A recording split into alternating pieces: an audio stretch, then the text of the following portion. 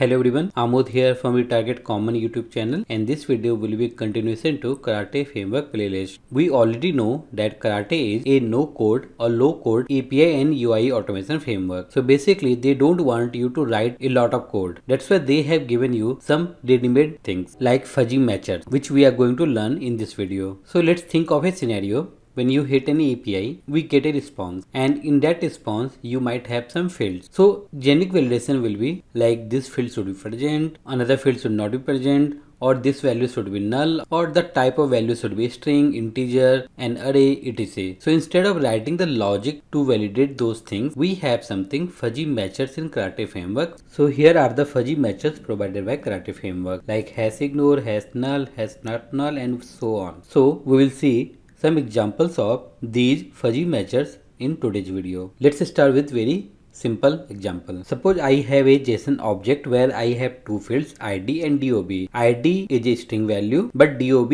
is a number value. Suppose I want to assert the value of ID. So I can use the match keyword with the JSON path like this. Right hand side I am passing the expected value. Let me run this and show you the output. So here you can see scenario is passed but we don't know what kind of ID value will be there so we cannot hardcode the value. So instead of that what I want to do I want to check ID should consist of a string value. Why string value? Because I am passing the value in double quotes. So I can write with the fuzzy matchers this time. Use the match jo.id double equal. To use the fuzzy matchers, we need to use quotes. Single quotes or double quotes. Whatever you want, you can use it. So single quotes, then use the hash and give the string. It will say that ID field should consist of a value of type string. Let me run and show you. So you can see this time scenario is passed. We have another matcher called number. Sets actual value to a number. Let me try number instead of string and see what happens.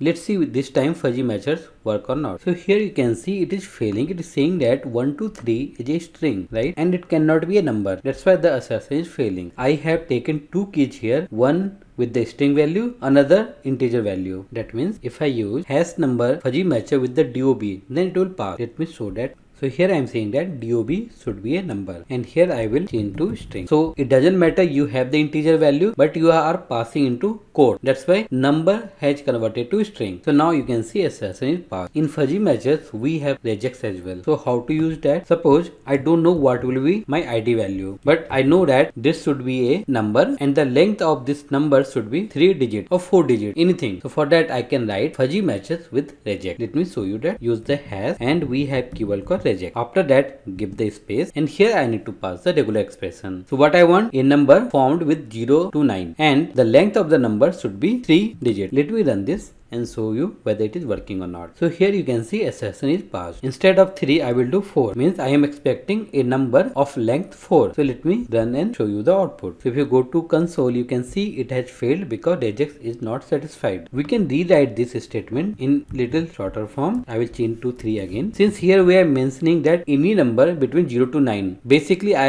have included all the digits. So instead of writing this much I can use slash d. Since I need to escape the escape character so I need to use use two slashes. It is the same thing. Whatever we have written at line number 16, same thing we have written at line number 17 just in different format. Let me and show you the output. So here you can see test cases are passed. But there is one trick. What will happen if i try to write the regex for this dob let me copy this and change id to dob and here length will be 4 if i run this you will get an error. So you can see it is showing that 1991 is not satisfying this one. And if you see the left hand side we have number but right hand side we have a string. If you see the karate official documentation for this regex it says that expects actual string value to match the regular expression. It is only working for string value. It not work for the integer values or number values. I was expecting this should automatically convert the value to assert it, but it is not. So if you want to apply the regex on the integer value or number values, then you need to convert your left hand side value to string value. I need to use plus sign and append empty character. But here I need to put the parenthesis also. Then only the entire result will be converted to string. Let me run this time and you will see this time assertion will pass. So the test case is passed here. Let's see some other examples. So in the second example, I have a simple JSON object again where we have two keys and string values. I want to perform assertion like this name should be present and I want to ignore some field as well. If you see the karate official documentation, we have something hash present, hash not present, hash null, hash not null, hash ignore. I want this key should be present. So I can use hash present and I can ignore this one. So I can use hash ignore and I can use the entire JSON object to assert with the actual response. Means here I can use star match go double equal use the triple double quotes and pass. It will check okay name should be present because we are using the present. We are not putting any validation on the value. And here for the company I am simply ignoring it. Let me run. So you can see test case is passed I remove this field. This time name is not present in the actual JSON. But in the matcher I am passing, that name should be present. If I run this time, you can see it will fail because name is not present. So here you can see actual does not contain key name. Let's see some validation based on array. So in the third example, we have a lengthy JSON. Actually, it is nested. We have simple ID, name and matcher field, but skills is an array. If I want to check the skills should have a an array. For that, I can use fuzzy matchers. For that, I can use match, then JSON response dot skills and I am expecting this should be an array. So for that use has pass array. Let me run this. So you can see assertion is passed. We can rewrite the same statement in another way. Instead of mentioning the array, we can use symbol as well. And if you want to mention the size means an array should be present with a fixed length. Then I can use square bracket and use the length that is 2. Let me run and show you the output. So you can see assertion is passed. Let me change the length to 3 and if I rerun it will fail because we have only two values in the array. So here you can see actual array length is 2. Suppose you want to validate that this array should consist of only string values. For that I need to use combination of fuzzy matchers like I can remove the size and here I need to use hash string. It will say that this array should consist of string values only. Let me change it to 2 again and let me run it. So you can see all the assertions are passed. Let me put a integer value and rerun this scenario. This time it will fail because we have number values as well in the array. So it is saying that actual array length is 3 because we have passing 2 here. So let me change it to 3 and rerun it. So go to console here you can see at second index we have not a string value. So Suppose you want to validate that at the first index or second index we have some specific value. Means you want to put the condition on indexed element. Means I want to check the first index the value is Java or the length of the first value is 4 for that also we can write the fuzzy matches with the condition. So I need to use star match and same thing like json response dot skills double equal use the single quotes or double quotes whatever you want has and don't use the square bracket here. I want to pass the conditions. So i will use has use the question mark space and it will give you the entire array. So from that array, I want to get the zeroth index element. For that, I need to use self of JavaScript. Use the index means to use the index, I need to use the square bracket, use the index. So this will give me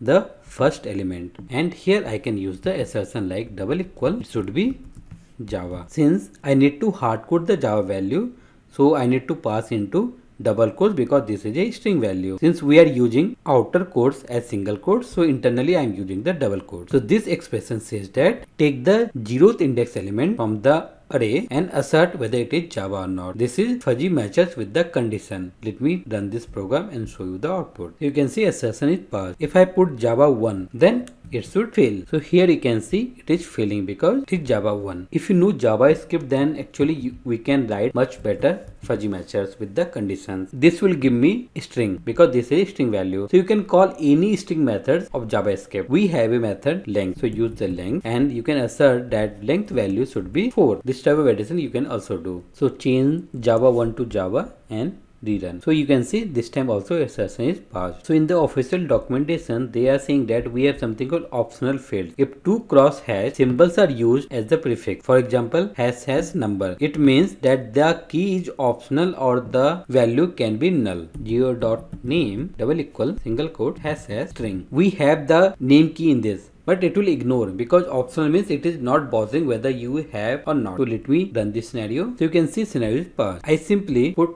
number here. Let me run this scenario and you can see this is failed. It is saying that not a number. So if you want to use to hash then make sure that you are passing the correct type of the value. If it is some different type then assertion will fail. Instead of confusing with the to hash pattern we can use ignore. Let me run this scenario and you can see test case is passed. I will remove the field itself. What do you think? What will happen this time? Let me run. So this time also test case is passed because we are using hash ignore. So it is simply ignoring the key. If I use null instead of ignore, what will happen this time? Obviously it will fail because this time I am not saying that ignore. I am saying that value should be null but field should be present. What will happen if I use the not null? Run the scenario. So this time also scenario is failed because we are saying that key should be present but value should not be not null. It can be any value but it should not be null value. So that's all in this video. If you have any doubt, please comment on this video. If you really like my videos, please like, comment, subscribe and share with others. Thank you everyone.